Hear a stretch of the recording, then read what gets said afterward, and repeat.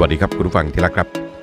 คอลัมน์อ่านเอาเรื่องโดยประกาศหอมนะครับ คอลัมน์นี้ตีพิมพ์ลงในหนังสือพิมพ์ไทยโพสต์ วันนี้ตรงกับฉบับวันที่ 11 เดือนกันยายนปีพุทธศักราช 2566 นะครับ ให้ชื่อว่านโยบายหรือขายฝัน เนื้อหาใจความเนี่ยเริ่มต้นอย่างนี้นะครับ ประกาศหอมบอกว่ามีสถิติที่น่าสนใจอยู่พอถึงวาระการถแถลงนโยบายรัฐบาลต่อที่ประชุมรัฐสภาเนี่ย อดที่จะนึกถึงสถิติทางการเมืองที่หลายคนมองข้ามไป การเมืองในรอบ 12 ปีมานี้เนี่ยนะครับ นับตั้งแต่ปี 2554 ประเทศไทยเรามีนายกรัฐมนตรีใหม่เอี่ยมถอดด้าม คือนายกรัฐมนตรีที่ไม่เคยเล่นการเมืองมาก่อนเลย ไม่เคยอยู่ในแวดวงการเมืองซะด้วยซ้ำไป แต่เมื่อเข้ามาปุ๊บก็นั่งเก้าอี้นายกรัฐมนตรีทันที แถมยังเป็นนายกรัฐมนตรีถึง 3 คนติดต่อกันเเริ่มจากยิ่งลักษณ์ชินวัตรระหว่างปี 2554 ถึงปี 2557 ต่อมาก็พลเอกประยุทธ์จันโอชาตั้งแต่ปี 2557 จนถึงปี 2566 และก็ปัจจุบันนี้แหละครับ เศรษฐาทวีสินเริ่มต้นปี 2556 ทั้ง 3 คนเนี่ยไม่เคยเป็นสสเลยนะครับ ไม่เคยดำรงตำแหน่งรัฐมนตรีไม่ว่าจะเป็นกระทรวงอะไรทั้งสิ้น ต้องถือว่าเป็นสถิติที่น่าทึ่งของการเมืองไทย แล้วก็ยากที่จะเห็นได้จากการเมืองของประเทศอื่น ๆ ในโลกใบนี้นะครับ การถแถลงนโยบายต่อที่ประชุมรัฐสภาเนี่ยนะครับ นายกรัฐมนตรีซึ่งเป็นหน้าใหม่ทางการเมือง จึงน่าจะไม่ง่ายสักเท่าไหร่หรอกครับ เพราะว่าสภาเนี่ยมันเต็มไปด้วยเสือสิงกระทิงแรดนะครับ แม้ว่าสมัยแรกของพลเอกประยุทธ์จะถแถลงนโยบายต่อที่ประชุมสภานิติบัญญัติแห่งชาติที่ไม่มีฝ่ายค้าน แต่นอกสภาเนี่ยมันเต็มไปด้วยระเบิดเวลา เพราะฉะนั้นบุคลิกของแต่ละคนจึงมีความสำคัญมาก เมื่อโดนย้ำแล้วสามารถฝ่าดงตีนด้วยตัวเองได้หรือไม่ล่ะครับ หรือว่าต้องอาศัยองครักษ์กัน ใช่ครับ ทุกครั้งที่มีการอภิปรายสำคัญสำคัญในสภาเนี่ยไม่ว่าจะเป็นการถแถลงนโยบายการอภิปรายไม่ไว้วางใจทั้งแบบลงคะแนนแล้วก็ไม่ลงคะแนนเนี่ยเรามักจะได้ยินคำว่าองครักษ์พิทักษ์นายกอยู่เสมอๆนะครับ ได้ผลบ้างไม่ได้ผลบ้าง ก็อยู่ที่เนื้อหาสาระ ถ้าหากว่าลงลึกในเรื่องส่วนตัวมากเกินไปเนี่ยก็ตัวใครตัวมันครับ แต่ว่าในภาพรวมส่วนใหญ่มักจะผ่านนะครับ ส่วนจะผ่านแบบฉลุยเลย หรือว่าจะผ่านแบบโชคเลือดเนี่ยก็ถือว่าผ่านแล้วกันนะครับ ทีนี้การถแถลงนโยบายของเศรษฐาทวีสินเนี่ยถูกจับตามองเป็นพิเศษก็ตรงที่ว่าสั้นห้วนเกินไป ไม่มีรายละเอียด ไม่มีนโยบายหลายนโยบายที่เคยหาเสียงเอาไว้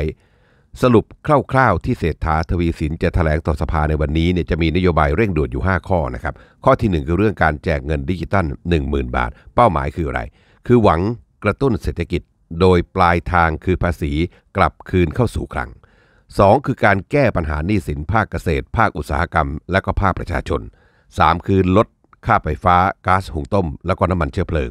4. การสร้างรายได้จากการท่องเที่ยว แล้วก็ 5. การทำประชามติแก้รัฐธรรมนูญ แล้วสิ่งที่หายไปคืออะไรครับ รถไฟฟ้ากทม 20 บาทตลอดสาย ครอบครัวทุกครอบครัวมีรายได้เดือนละไม่ต่ำกว่า 20,000 บาท ค่าแรงขั้นต่ำ 600 บาท ภายในปี 2570 เงินเดือนผู้จบปริญญาตรีเดือนละ 25,000 บาท นี่ก็ภายในปี 2570 เช่นเดียวกัน สมาชิกสภาร่างรัฐธรรมนูญก็ไม่มี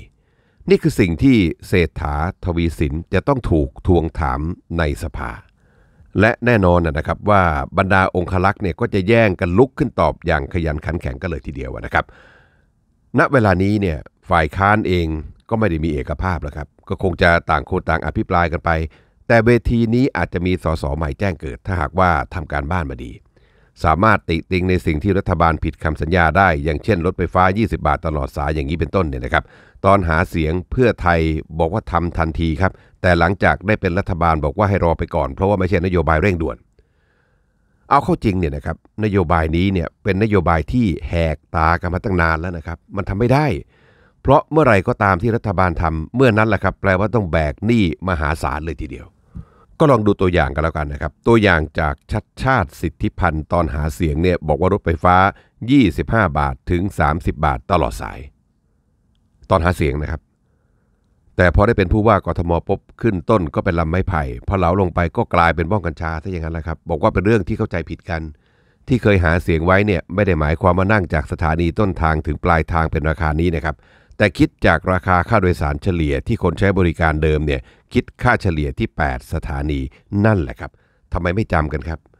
หลอกแล้วหลอกอยู่หลอกต่อไป เอาอย่างนี้นะครับ ในเว็บไซต์ของพรรคเพื่อไทยเนี่ยเขายังไม่ได้ลบข้อความเกี่ยวกับรถไฟฟ้า 20 บาทตลอดสายนี่แหละครับ มันคือหลักฐานที่เป็นลายลักษณ์อักษรว่าเป็นนโยบายที่พรรคเพื่อไทยจะนำไปทำเมื่อได้เป็นรัฐบาล เนื้อหาในเว็บไซต์เขาระบุเอาไว้อย่างนี้นะครับ ย้ำว่านี่เป็นข้อมูลจากเว็บไซต์ของพรรคเพื่อไทยอย่างเป็นทางการเลยนะครับ เขาบอกว่ารถไฟฟ้ากทม 20 บาทตลอดสาย เพื่อลดภาระค่าใช้จ่ายของผู้โดยสาร เราซึ่งหมายถึงพรรคเพื่อไทยนี่นะครับ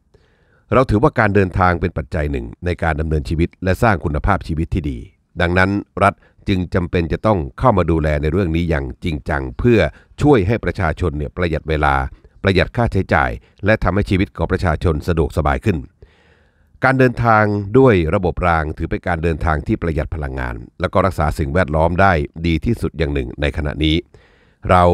ซึ่งหมายถึงพรรคเพื่อไทยนะครับ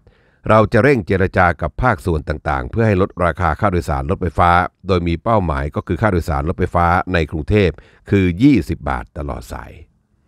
นี่เป็นแถลงการอย่างเป็นทางการผ่านเว็บไซต์ของพรรคเพื่อไทย ต้องเรียกว่าหรูหราหมาเห่ามาก ใครที่เลือกพรรคเพื่อไทยแล้วรู้สึกว่าไม่ตรงปกเนี่ยลองนำข้อความนี้ไปร้องกับกกตดูนะครับเพื่อจะได้นั่งรถไฟฟ้า 20 บาทตลอดสายในไม่ช้านี่แหละครับ จริง ๆ ยังมีอีกเยอะนะครับ อย่างเช่น นโยบายติดตั้งเครื่องปรับอากาศให้กับรถไฟชั้น 3 ทุกขบวน พร้อมกับปรับปรุงสภาพภายในให้มีความทันสมัย เพื่อคุณภาพการเดินทางที่ดีขึ้นของผู้ที่มีรายได้น้อย และก็ผู้ใช้รถไฟชั้น 3 ทั่วประเทศ โครงการยกระดับรถไฟโดยสารทั่วประเทศให้สามารถเป็นการเดินทางแบบไปกลับประจำได้อย่างแท้จริง พร้อมกับสร้างระบบฟรีเดอร์ที่สะดวกสบายเชื่อมโยงแต่ละฮับ ยกตัวอย่างเช่น เส้นทาง กรุงเทพนครราชสีมา และเพิ่มความเร็วให้ได้เป็น 200 กิโลเมตรต่อชั่วโมงโครงการเชื่อมโยงโครงข่ายรถไฟความเร็วสูงทั่วประเทศเป็นการเชื่อมต่อเพื่อเพิ่มปริมาณทั้งด้านการค้าและการท่องเที่ยวกับจีนและประเทศในกลุ่มอาเซียน โครงการเส้นทางรถไฟนี้ยังเชื่อมต่อกับเส้นทาง สายไหมใหม่ ซึ่งเป็นประตูไปยังเอเชียใต้ ตะวันออกกลาง รัสเซียแล้วก็ยุโรปเป็นไงครับ เพื่อไทยบอกไปไกลถึงยุโรปเลยนะครับ ก็เอาใจช่วยกันแล้วกันนะครับทำให้สำเร็จดีกว่าสะดวกกว่าสบายกว่าช่องทางธรรมชาติเป็นไหนๆนะครับ